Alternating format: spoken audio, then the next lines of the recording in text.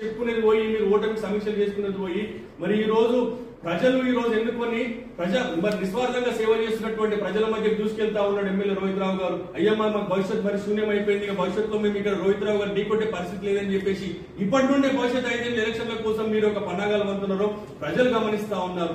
గడిచిన పదేళ్ళుగా మీరు ఏ కార్యాలయం తీసుకుపోయినప్పుడు కూడా పక్క నుండి సపోర్ట్ కొట్టేటువంటి ఎమ్మెల్యే చూసి ఇప్పుడు కానీ ఈ రోజు నిలదీసి మీ దగ్గర తరలిపోయినటువంటి కార్యాలయాలన్నీ కూడా మా ఎమ్మెల్యే గారు మెదక్ ఎమ్మెల్యే గారు తిరిగి మెదక్ తీసుకురాబోతా ఉన్నారు. మరి ముఖ్యంగా ఇటీవలే ఎమ్మెల్యే గారు మెదక్ ఎమ్మెల్యే గారు దావాస్ పర్యటన సందర్భంగా మరి ఇక్కడ ఉన్నటువంటి ఎంజేపీ మహాత్మా జ్యోతి బాపులే కాలేజీని తునికిలో తునికిలోకి తరలించడం మెదక్ మంజూరైనటువంటి భవనం లెక్క తునికి పంపిస్తే మరి దావోస్లో ఉన్నటువంటి ఎమ్మెల్యే గారు సమాచారం అందించినట్టు వెంటనే వెంటనే ప్రిన్సిపల్ సెక్రటరీ మల్లయ్యపట్టు గారితో మాట్లాడితే విషయం వాస్తవం అని తెలియదు అక్కడ ఉన్నటువంటి మహాత్మా జ్యోతిబాబులే కాలేజీని కూడా ఇప్పటికి కూడా కుట్ర.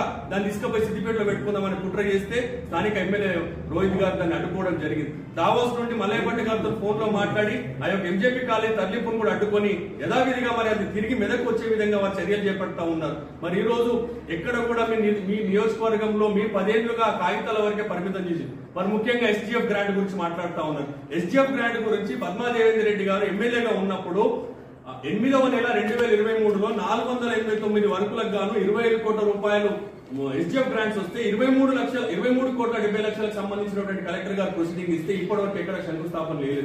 ఇవన్నీ కేవలం ఎందుకు ఆపారంటే నాలుగు వందల ఎనభై తొమ్మిది వర్కులలో దేవేంద్ర రెడ్డి గారికి సంబంధించినటువంటి వాటా డిసైడ్ కాలేదు కాబట్టి ఆ కాంట్రాక్ట్ పనులు వెంటనే ఎన్నికలకు కూడా వస్తుంది కాబట్టి ఆ కాంట్రాక్ట్ వాటా డిసైడ్ కాలేదు కాబట్టి అవి ఎక్కడ పోయినాయి? అవి ఎందుకు ప్రారంభించలేకపోయింది మీ హయాంలో కలెక్టర్ గారు నాలుగు వందల ఎనభై తొమ్మిది వర్కులకు శాంక్షన్లు ఇస్తే ఇప్పటి వరకు ఎక్కడ కూడా దాన్ని ఆచరించింది. లేదు ఈరోజు అవినీతి అంతా మీ దగ్గర మూసుకొని ఎమ్మెల్యే రోహిత్ రావు గారు ఇలా వర్క్ మెదక్ నియోజకవర్గానికి సంబంధించినటువంటి నిధులన్నీ పోతా ఉన్నాయి ఏం చేస్తా ఉన్నారని మమ్మల్ని ప్రశ్నించడం కాదు. పదేళ్ళ కింద మరి నేను ఏడాది కింద మీరు ఎమ్మెల్యేగా ఉన్నారు మీ అధికారం ఉంది మీరు మంత్రిగా ఉన్నప్పుడు మీ కలెక్టర్ మీరు అప్పుడు హయాంలో జరిగినటువంటి ప్రొసీడింగ్లకు ఎక్కడ పనులు జరిగినాయో చెప్పాల్సిన అవసరం ఉందని అడుగుతా ఉన్నాను. అవినీతికి కేరా పడ్రస్ మీ పక్కన ఉన్నటువంటి ఇద్దరు మాజీ ఎమ్మెల్యే పద్మా దేవేంద్ర దంపతులు. మరి వారిని పదేళ్ళుగా మెదక్ నియోజకవర్గాన్ని ఎందుకు ఎన్కేసారు మరి అన్ని కూడా అబద్ధాలు చెప్పినాం కదా అనే విషయాన్ని వాళ్ళని చేయాల్సింది పోయి నూతనంగా ఎన్నికైనటువంటి ఎమ్మెల్యే రోహిత్ రావు గారి మీద బురద జల్లే ప్రయత్నాన్ని మానుకోవాలని చెప్పేసి మిమ్మల్ని అందరినీ కూడా విజ్ఞప్తి చేస్తా ఉన్నాం హెచ్చరిస్తా ఉన్నాం. మరి ముఖ్యంగా పదే పదే మెదక్ నియోజకవర్గ పర్యటన వెనుక మరి భవిష్యత్తులో మీరు ఇక్కడ ఏదో ఈ రోహిత్ రావు గారికి సమవచ్చిగా సమాన నాయకత్వంగా మన పద్మాదేవేంద్ర రెడ్డి గారి భవిష్యత్తు నాయకత్వాన్ని ఇక్కడ కాపాడుతున్న ప్రయత్నం చేస్తా ఉన్నారు.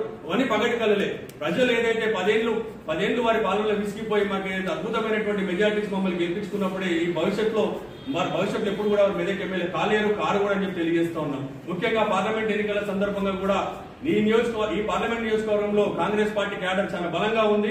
రానున్నటువంటి పార్లమెంట్ ఎలక్షన్లో కూడా ఖచ్చితంగా ఇక్కడ కాంగ్రెస్ పార్టీ జెండా ఉందని చెప్పి తెలియజేస్తూ ఈ అవినీతికి పాల్పడేటువంటి వ్యక్తులను మీ పక్కకు పెట్టుకుని అభివృద్ధి